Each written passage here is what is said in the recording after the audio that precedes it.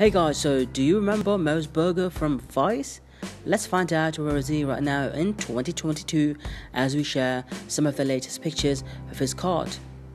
If you're new to this channel, please subscribe and also if you're watching this video for the first time, let us give you a background.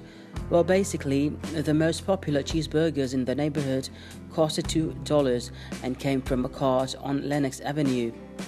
Every day at lunchtime, a line of people queue up at Mo's Cart for burgers and hot dogs, most of them lured by the smell of freshly grilled patties.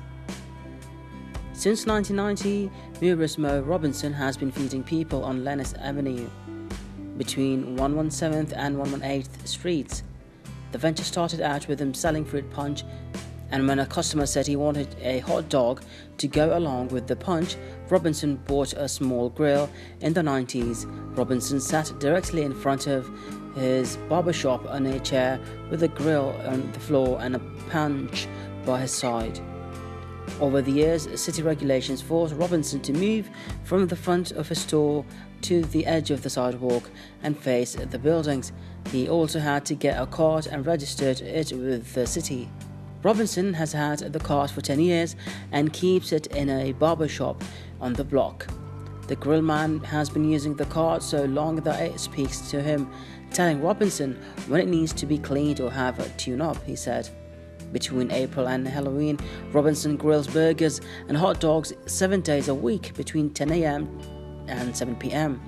It's not uncommon for him to cook 300 burgers, 120 dogs, and 100 hot sausages in a single day. Robinson owned 151 Lenox Ave but sold it a couple of years ago because of rising property taxes. Robinson now lives in the Bronx but said he'll cook burgers until his body doesn't let him because it's too much fun being a part of the community. Robinson likes that people know exactly where he is and that prices rarely change.